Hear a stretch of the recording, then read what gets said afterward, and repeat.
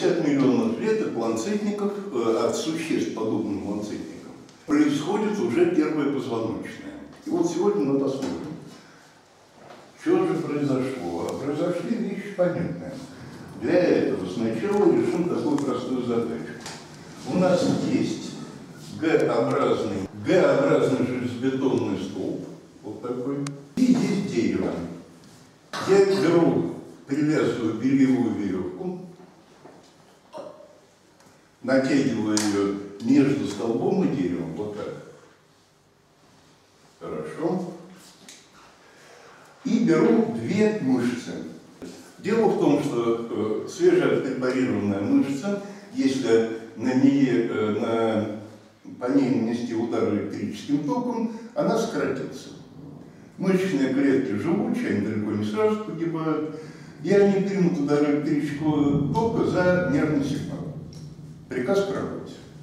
Вот я беру две мышцы, померил э, их силу, выяснил, что сокращаются они совершенно одинаковой силой, и подвесил их вот так.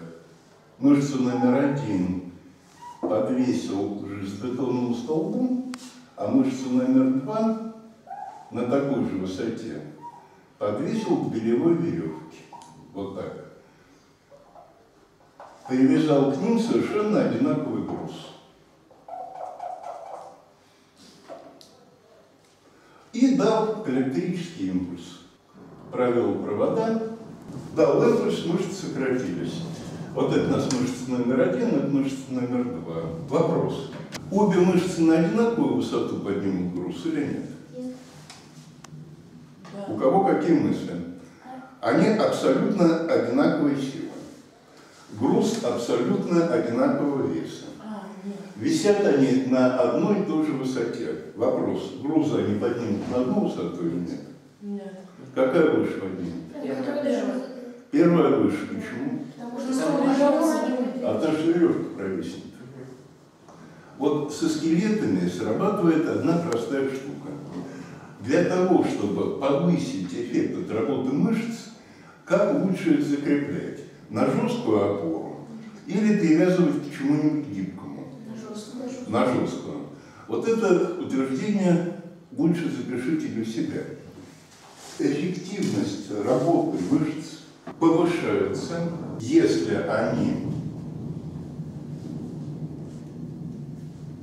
прикреплены к жесткому основанию.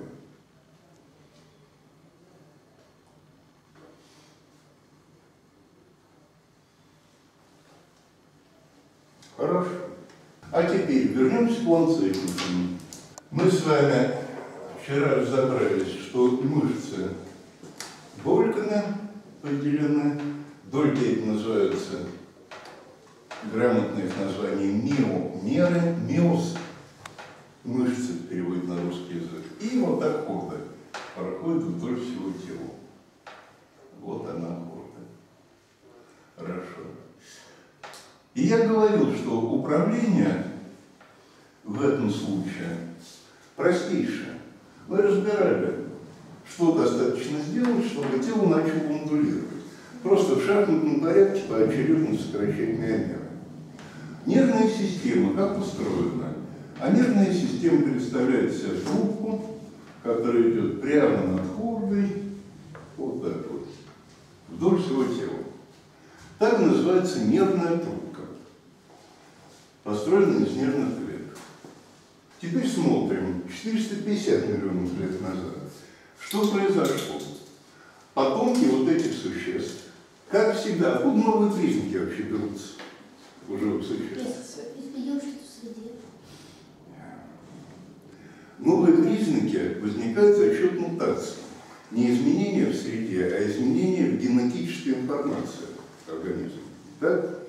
То есть мутанты, все мутанты абсолютно, с точки зрения немутантного организма, это уроды.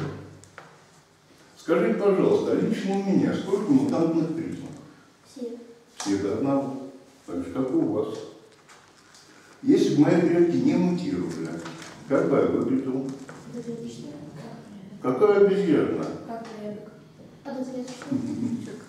Какое одноклеточное? Не, инфузория это уже Огромный путь развития. Бактерия, бактерия, конечно.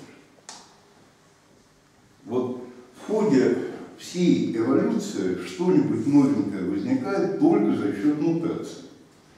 Так? Ну, еще есть такой путь перетасовать уже имеющуюся информацию, перестановочка, рекомбинация. Но при этом происходит новое сочетание признаков, а не сами новые признаки.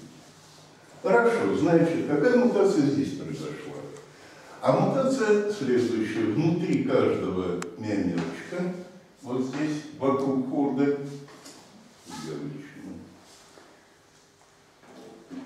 развивается жесткое опорное кольцо.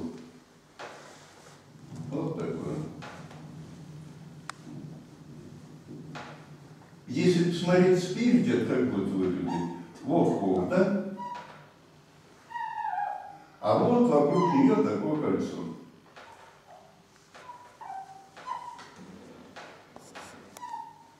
Вот почему я терпеть не могу такие доски?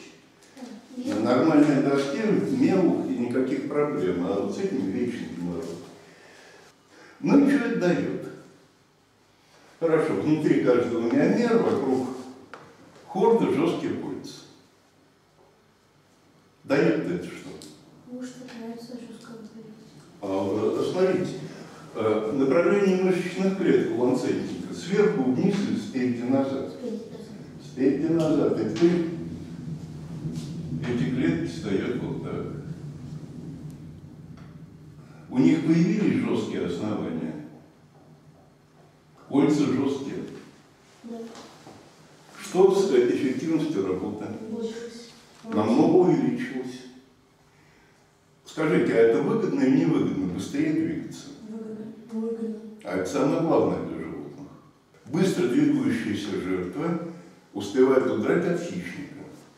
Быстро двигающийся хищник способен поймать жертву. Это то самое главное. Классно. А теперь такая простая задача. У кого-нибудь младшие братья и сестры есть? Ага, здесь не повезло. Хорошо. Скажите, пожалуйста, можно ли трехлетнего карапуза посадить на трехколесный велосипед и пускай гоняет там где-нибудь или по двору? Не, нельзя? А почему нельзя? Трехколесный велосипед это устойчивый или неустойчивый? Устойчиво. Упасть можно, я, я вот стою и могу упасть. Просто. Так? С трехколесным велосипедом упасть, это надо очень постараться. Для безопасности дадим такую самую супер модель, без всякой цепи и передачи, когда педали прям к колесу приделаны. Есть. Есть такие велосипеды, сел пацанчик на этот велосипед и разогнался со всей дури аж километров до двух с половиной в час. А если взять и поставить удлинители на все педали Ford Focus, можно того же самого пацанчика посадить за руль автомобиля. Нет. Можно. Не, посадить можно, только что выйдет.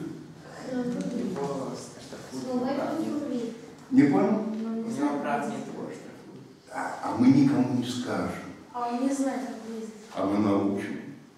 А, можно Можно жить. Не, ребят, нельзя. Разница в чем. Если на полной скорости трехколесный велосипед опрокинется, так, каков будет результат для водителя велосипеда? Ну, царь. Ну, в самом тяжелом случае разбитая коленка, э, разбитый нос или еще что-нибудь. Что-нибудь более серьезное может произойти? Нет. Ага, хорошо. А теперь, при опрокидывании Форда Фокус на скорости 150 километров. Какой результат для водителя, разумеется? Его после этого вообще не соберешь. В чем дело? А дело в разной скорости движения. Вот смотрите, у вас были ланцетники, а появились вот эти ребята с жесткими вставками. Скорость возросла?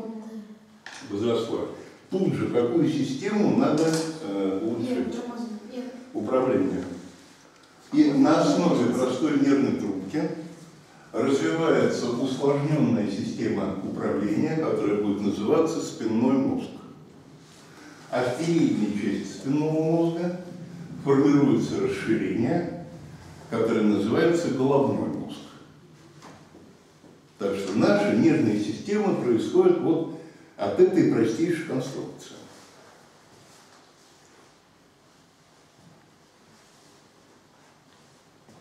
Ну и напоследок такой неожиданный. Поднимайте руку, кто может объяснить мне глупому, какая часть тела называется голова. Что такое голова? Там, где челюсти. Так, Неплохой ответ. Это часть тела, которая э, идет вперед. А, Так, а у всех ли животных есть голова? Приведите пример животных, причем иногда очень крупных, у которых в принципе нет головы и даже что-то отдаленно похожее на голову. Еще раз? У червей, конечно, есть. Одноклеточные. Вот, Я говорю, одноклеточные это протисты, это не животных, если уж серьезно говорить. Так? А я про животных, значит, про многоклеточных спрашиваю. Медуза, представляете себя? А у медузы голова есть или нет? Вот давайте разбираться, это очень важно для биологии. Значит, у вас есть зверь, который ведет такую насыщенную, интересную жизнь. Он висит в мировом океане на глубине 20 метров, то есть поверхность 20 метров. И он здесь висит. Никаких органов движения, которые бы давали ему возможность плыть против течения, у него нет. Так что считаем, что его просто пассивно носят потоками.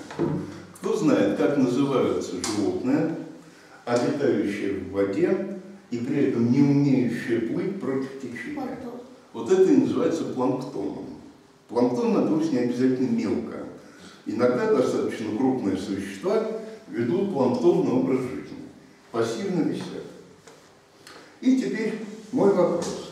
Скажите, пожалуйста, с какой стороны вероятнее всего на этого существа нападет хищник?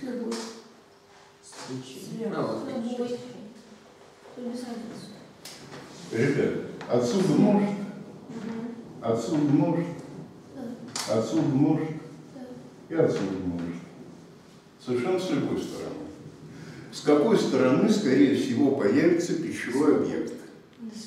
С любой. Отсюда может, отсюда может, отсюда и отсюда. С какой стороны, скорее всего, появится половой партнер? С любой. С любой. Вот, ребят, три важнейшие вещи для любого животного. Первое. Добиться ситуации, чтобы тебя не съели. Второе. Самому поесть. И третье. Размножиться. Вот если эти задачи решаются успешно, то такой биологический вид закрепляется на нашей планете и будет существовать, в принципе, неограниченно долго. А теперь давайте подумаем, а как этому зверюге, где на теле, надо располагать органы чувств? Понятно, что везде. Ведь важное событие с одинаковой вероятностью может произойти везде. Хорошо. Как надо располагать органы манипулятора? То есть то, чем мы работаем. Везде. Какую симметрию мы получаем? А вот какую симметрию? Лучевую.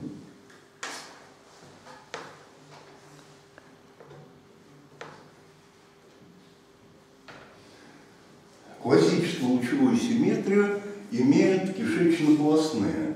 Медузы, кораллы, гидры и так далее. Вот ничего похожего на голову у них нет. Теперь, представьте себе, я вот такая медузина. Значит, решил разнообразить жизнь. Взял и лег на дно. И пополз по дну. Значит, вот представим себе, я э, из этого класса убрали все парты, так? Значит, я лег на пол и ползу. Посередине класса лежит котлета. Какой частью тела я наеду на котлету? Той, которая впереди. Той, которая находится по ходу движения. Это понятно? Если я ползу ногами вперед, чем я наткнусь на котлету? Ногами. Если боком вперед, Боком. боком. Хорошо, теперь посередине класса стоит капкан, а я ползу. Какой частью тела я наткнусь на капкан? Той. Которая находится по ходу движения. Идея понятна?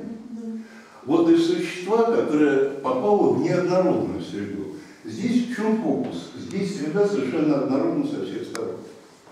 Но как только среда становится неоднородной, что делаем? Выбираем одно направление, допустим, вот это, и ползаем всегда вперед этим лучом. А это значит, что будет с органами чувств? Они, конечно, останутся на остальных частях, но самое мощное, самое далеко работающее, все соберутся вот здесь, где надо устраивать захваты для пищи. Там же. Потому что лучше вообще проверить, что вы собираетесь в себя засунуть. Так? А для этого нужны органы чувств. И где будем э, держать центр переработки информации? Там же. Чтобы сократить дорожку для передачи нервного сигнала, вот видите, здесь очень короткий. А это значит, мы повысили скорость реакции, очень важный показатель. Итак, вот она голова. Головы возникают у существ, обитающих в неоднородной среде. Так? И на голове, как правило, сосредоточены все дистантные органы чувств, то есть те органы, которые на расстоянии сигнал воспринимают. Там же крупнейшее скопление нервной системы, там же вход пищеварения. Челюсть вовсе не обязательно. У каких-нибудь червей, допустим, челюсти есть или нет? Челюстей нет, а голова есть? Ну, червяк когда-нибудь боком вперед ползает? Нет. А попой вперед? Это вам кажется, что червяк, он что с одного конца, что с другого конца совершенно одинаковый. Но сам-то червяк хорошо знает, какой частью ему вперед идти. И на самом деле голова от попы у червяка отличается очень сильно по внутреннему устройству. В результате увеличили скорость движения, усложнили нервную систему. Нервная трубка превратилась в спинной мозг, а поскольку мы мало того, что движемся, мы еще и быстро движемся, что надо делать с вот этим скоплением нервных элементов? Да. Поэтому раздувается, зарабатывает манию величия передний отдел нервной системы, и получается, собственно, название головной мозг. Кстати, о, скажите, а у нас у людей, как по-вашему, какой мозг самый главный, головной или спинной? Конечно, спинной. Головной занимается всякими пустяками, типа мышления, эмоции, планирования, там, выбор идеалов, целей, стремления. А спинной мозг занимается обеспечением сердца, печени, легких, почек и так далее. Скажите, что останется от ваших идеалов, планов стремлений, если сердце встало? Ничего, ничего. Не очень много. Так что для того, чтобы хоть какой-то эффект от работы головного мозга был, надо, чтобы спинной был в порядке. Потому что в противном случае уже ничего не.